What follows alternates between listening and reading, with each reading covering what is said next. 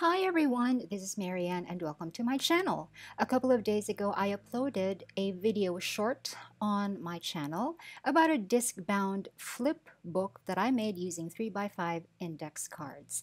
Today in this video, I will share how I made it, which you can consider as a little tutorial that you can follow. I have these extra discs that I considered using. Here are some uh, clear plastic discs that are 24 millimeters, and here are the 18 millimeter plastic di discs. And then here are the super clear plastic discs that I think look very, very pretty, which I used to make this A5 notebook right here. I also have a video on my channel showing how I made this notebook, and I will link down below. And the index cards that I will be using is this one pack of 3x5 index cards right here. It is the Green Apple brand and this pack has 100 pieces. This wasn't available in any local store in my city, so I had to purchase this online. I will leave a link in the description box. Take note that I am in the Philippines and the shopping app that I use is called Shopee and it's only available in Asia, I believe. I've been using index cards a lot lately. I have also purchased this pack of 3x5 index cards and the brand is Corona. I use these ones, the Corona 3x5 ones, to carry ideas for my novel in progress. I have a video short about that which I will link down below. And these 4x6 index cards I use for my story arc for the same novel in progress. Anyway, I believe I have enough extra 3x5 index cards to make a little notebook that I can bind with discs. So I took these extra scraps of that old clear book cover that I once tore down to make a cover for an A5 slim sized commonplace notebook. I will link that video of the commonplace notebook down below. The next thing I did was to make a stopper for my Happy Planner Punch. I have it here in the classic size and I'm sorry that for some reason my camera is taking a blurred video of this part but I had to find the exact center of the index card so that the hole punching for the disc bound will be exactly centered on the index card. So I folded the index card in half and marked a line down the center fold and lined up that line with the center of one of the hole punches on the hole punch as you can see. I hope you can get the idea even if the video is blurred. I am very sorry about that. And then I made a little square made of a few layers of extra index card material glued together. I cut it down straight to make a little square and then I glued it straight onto the hole puncher right where the index cards should be placed when I hole punch them later. And later on I will show you how it works but for now, I have to set this one aside to dry completely. And now for the covers. I have decided to make them 1 8 of an inch wider on three sides. Um, and the fourth side will be the side where the hole punching is going to go. So there doesn't need to be any excess on that side. To cut these down to the right size, I just used a pencil to make a tiny mark on the plastic. And then I used a metal ruler and a box cutter to make the final cut. And here are the covers for the notebook, one for the front and one for the back. And now it's time to do the hole punching because at this point that stopper that I made earlier has already completely dried. And I used a marker to write down 3 by 5 on it to remind myself that that is the stopper to hole punch 3 by 5 index cards. And then from here on out, it's just a matter of hole punching all of the index cards in the pack. What I plan to use this notebook for is to write down my ideas that float around in my head almost all the time. There are quite a lot of them constantly flying around in my mind, and sometimes it gets disturbing and distracting, and I cannot pay attention. And I find that writing them down helps ease the mental disturbance. And also, for practical reasons, it allows me to use the ideas for my other creative projects. I have made a disc-bound A5 slim notebook for this. Like I said, it was uh, the commonplace notebook, but in my experience, that was too big.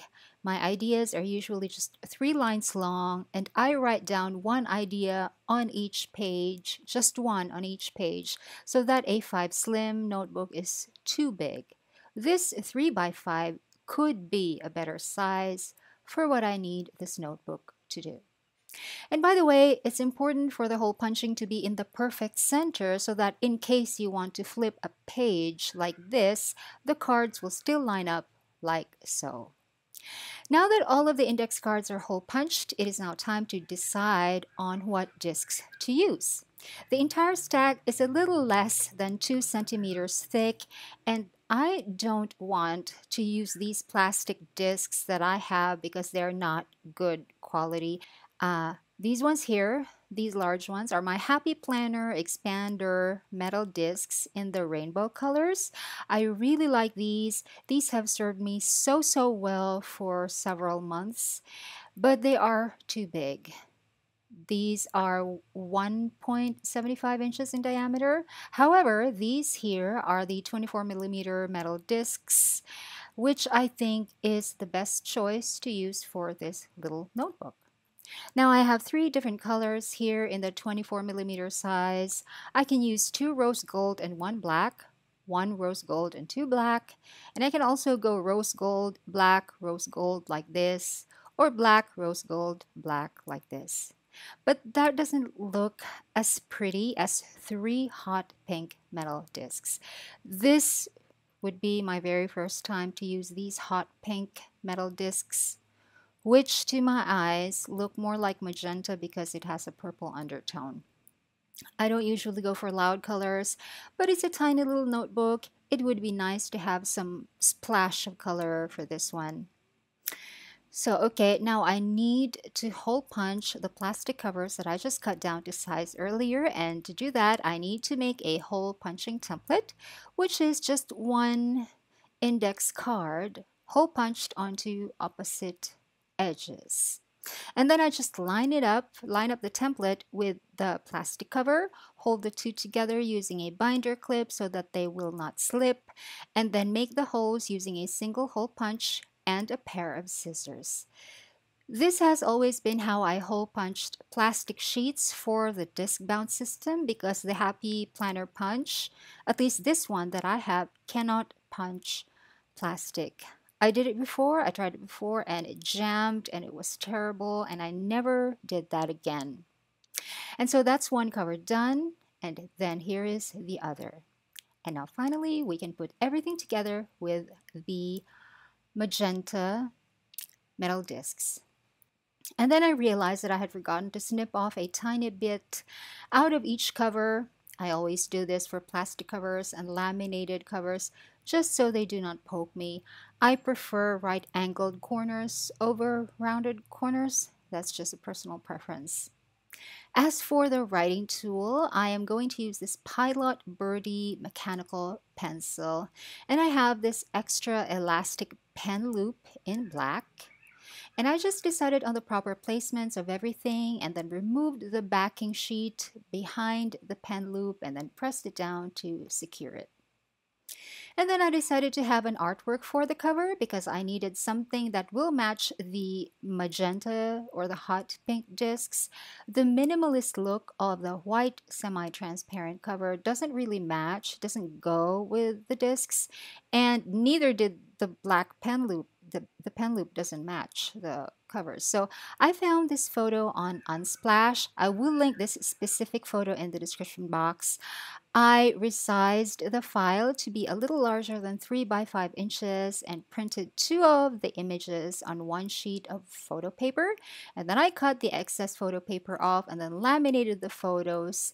And then after I cut the material down to the proper size, which is 3 by 5, I hole punched them using the same method that I used for the plastic covers that I showed earlier. Uh, it's just the same method. And then finally, here is the finished notebook. Let me just share a little bit more about this pencil. This is an all-metal Pilot Birdie mechanical pencil and this carries 0.5 millimeter leads. It does have a ballpoint pen version which I currently have on my disc-bound wallet right here. I have a video about how I made this disc-bound wallet on my channel and I will link it down below. This disc-bound wallet has credit card sleeves that I made out of tracing paper and lamination. Please check out that video. I'm sure you're going to like it. And I also have a review of this ballpoint pen, the Pilot Birdie ballpoint, which I will link down below as well. When it comes to my daily planner, this one right here, I am using this Tombow Monograph mechanical pencil in the classic Tombow stripe color, and it's on this black elastic pen loop. The pen loop here used to be white, but I replaced it with a black one because it goes better with the black metal discs. I have a video about how I set up this planner in my channel and also a video review of the Tombow mechanical pencil. Both videos will be linked down below. At this point, while I was playing around with handling the notebook, I realized that it looks a lot like a flip book, so that is what I have decided to call it from now on. I can write on this vertically or horizontally, depending on which is more convenient for me and depending on which is more appropriate for what I am writing. And I can literally flip through it when I want to look for an idea or just randomly pick one for some reason. I think this notebook is so adorable if I say so myself. And this is what I will use now to write down my ideas in. No longer the A5 Slim disc-bound commonplace notebook. That one was really too big for me. This one is more handy. But let's see. And that is how I made a disc-bound flip book using 3x5 index cards. I hope you enjoyed this video and I hope you got some ideas from here. Thanks for watching. Bye.